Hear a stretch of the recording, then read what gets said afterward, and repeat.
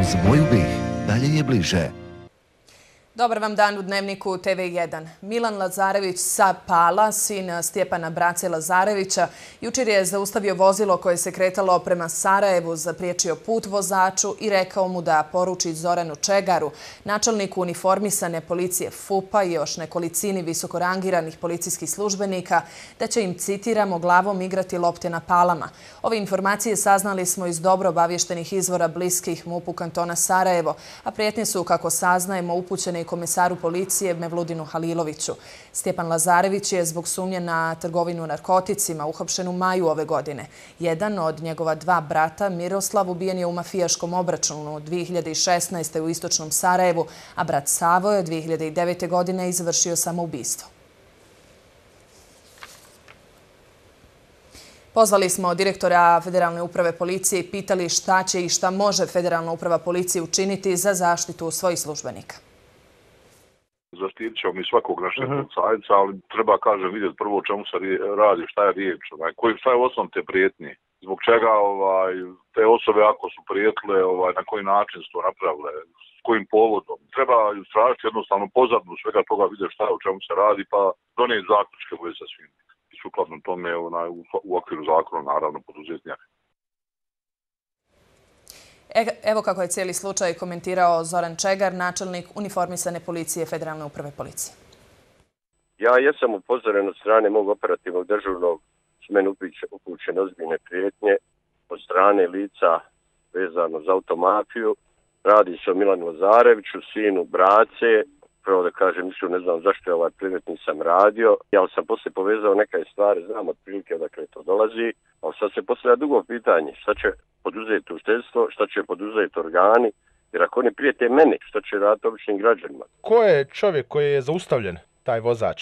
Ja znam identitet, ali ja ne mogu sad vam otkriti identitet njegov, jer on je došao policiju da prijavi ono što smo oni rekli, u stvari što su ga oni, koliko ja znam, poslali da to kaže. Mm. I mhm. nije upućena prijetnja samo meni, nego više policijskih dužnostnika da kaže im to, nijedan nije da kaže niskog ranga. Šta očekujete od generalne federalne uprave policije? Od mojih, da kažem, tamo da pozovu to lice, da ga pozovu da da izjavu i da se podnesu imaju sankcije.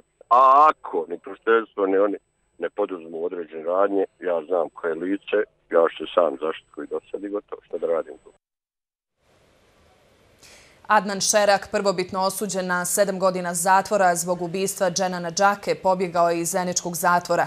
Tačnije, nije se vratio sa dopusta koji mu je osigurao općinski sud u Sarajevu. Šerak u godinama poznatom po vršenju krivičnih dijela odobren je zahtjev da mu se izdržavanje kazne prekine na mjesec dana, a kako stoji u objašnjenju da bi roditeljima pomogao da cijepaju drva. Od 22. oktobra nalazi se u bjekstvu, a za njim je raspisana i potjernica. Prije godinu dana Vrhovni sud Federacije Bosna i Herceg Hercegovine ukinuo je presudu kantonalnog suda u Zenici te vratio suđenje na početak.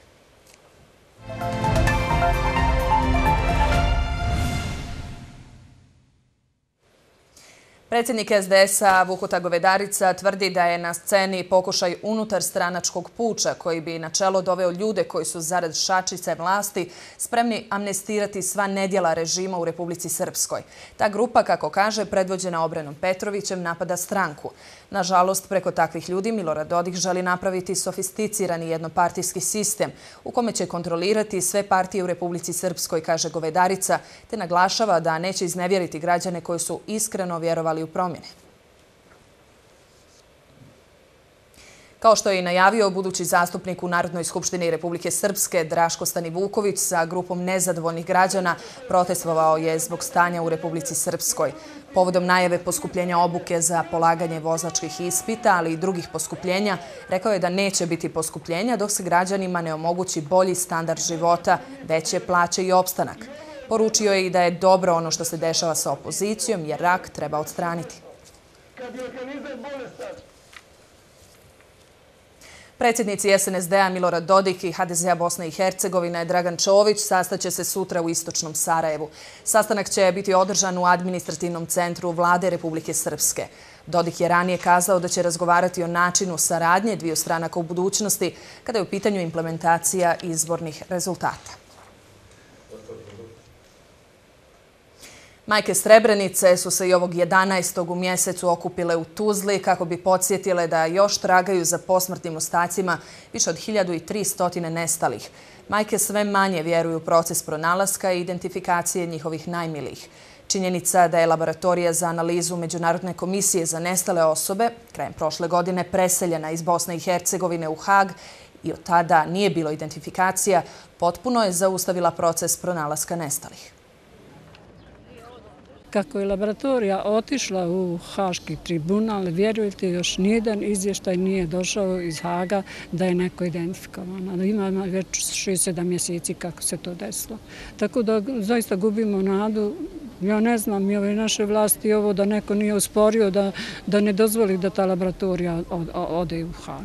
To je istina koja je neophodna svima nama, ne samo majkama. Njima je to potrebno za smiraj, a nama je to potrebno za budućnost. Neophodno da znamo šta se je desilo, kada se je desilo, kome se je desilo, gdje se je desilo.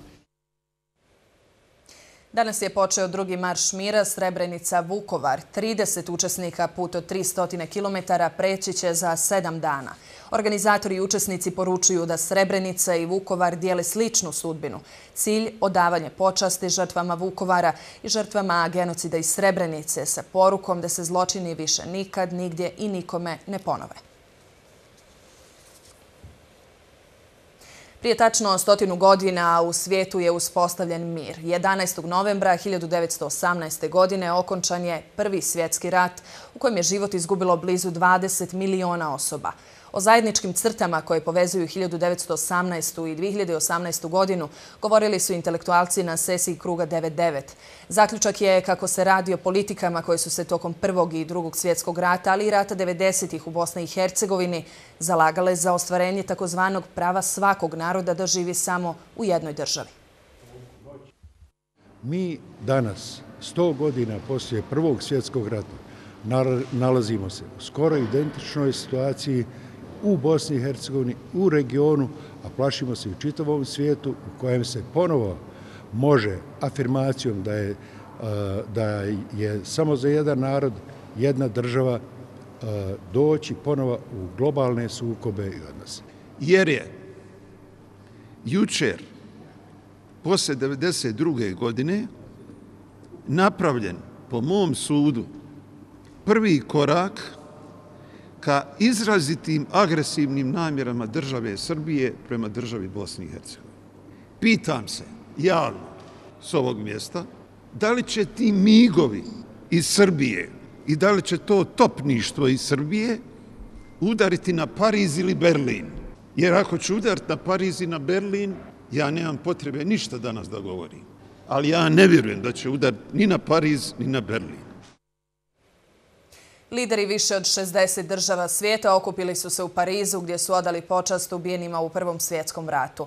Odaslali su poruku mira, ali izrazili strah da bi se historija mogla ponoviti. Tačno u 11 sati u vrijeme kada je prije stotinu godina proglašen mir, začula su se crkvena zvona širom Pariza dok su se delegacije zvaničnika približavale triumfalnoj kapiji. Jedini koji je došao odvojeno bio je američki predsjednik Donald Trump, pred čiju su kolonu istečale aktivistkinje feminističke organizacije koje je policija potom savladala. Domaćin Macron položio je vjenac i zapalio plamen kod spomenika neznanom junaku, a u svom obraćanju podsjetio je na krvavu prošlost koju su prošli narodi Evrope, ali i cijelog svijeta. 11. novembar bio je prije 100 godina, čini se daleko, ali to je zapravo bilo jučer.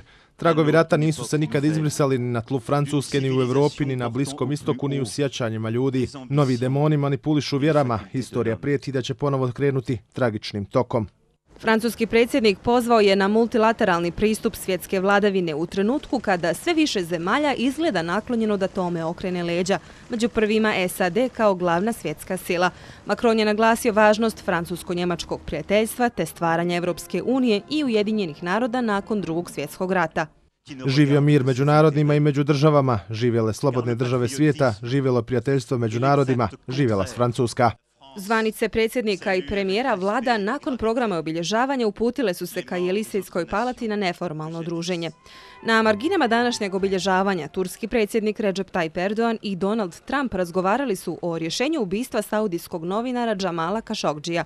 Erdogan je potvrdio kako su audio snimci ubistva predati američkim, francuskim, njemačkim i britanskim vlastima, dok je Trump najavio nove detalje ubistva do kraja sedmice. Prvi svjetski rat potaknut je Sarajevskim atentatom na Austrougarskog nadvojvodu Franca Ferdinanda. Rat u kojem su učestvovale 32 nacije okončan je potpisivanjem primjerja sila Antante sa Njemačkom. Procijenjuje se da je oko 10 miliona vojnika poginulo tokom borbi, dok je između 5 i 10 miliona civila poginulo. Predsjednik Srbije Aleksandar Vučić je o odnosima u regiji razgovarao sa kancelarkom Angelom Merkel. Kaže da Merkelova želi pomoći te joj se zahvalio na pomoći u investicijama. U dva navrata na kratko je razgovarao i sa američkim predsjednikom Donaldom Trumpom. Rekao sam što je on rekao. Ja sam čestitali smo jedan drugom praznik i prosto dok se ja predstavim, pošto sam sasvim siguran da ne zna da sam predsjednik Srbije bez obzira što smo se videli, toliko susreta čovjek ima i ja nisam od onih koji pati sad od tih kompleksa više vrednosti i značaja, pa sad pa ja znam da on čovjek pojma nema ko sam ja, mislim. I onda sam bio srećan kada je to bila njegova reakcija i insistirao je na tome, pa je to i ponavljao i pred drugim ljudima. Tako da tu vremena i prostora za nekakav ozbiljniji razgovor nije bilo.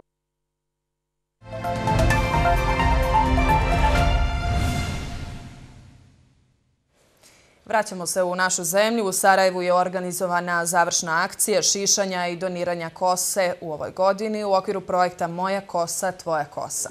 Projekt je pokrenut u februaru 2017. godine. Od tada je oko 1600 ljudi doniralo svoju kosu. Više od 70% donatora čine upravo djeca. Ovaj projekat je zaista, zaista spojio ljude iz, ne samo u Bosni i Hercegovini, nego ko su dobijamo iz Evrope, iz Ukrajine, iz Amerike i ponosni smo na to. Tada sam se prvi put upoznala i sa djecom i roditeljima i cijelim timom koji stoji iza ovog velikog i divnog, savršenog projekta, zaista koji e, ponosno, e, e, napominjem, raste iz dana u dan i sigurno sam bit će i još veći i Uh, uspješniji. Jako sam sretna da je ovo konačno u našem gradu počelo nešto ovako da se dešava i da se na ovaj način ukazuje ljudima koliko smo stvarno svi možemo dati od sebe barem eto tu kosu, barem nešto da izvučemo osmijeh djece na lici. Toliko za sada, vidimo se ponovo u dnevniku u 19 sati. Doviđenja.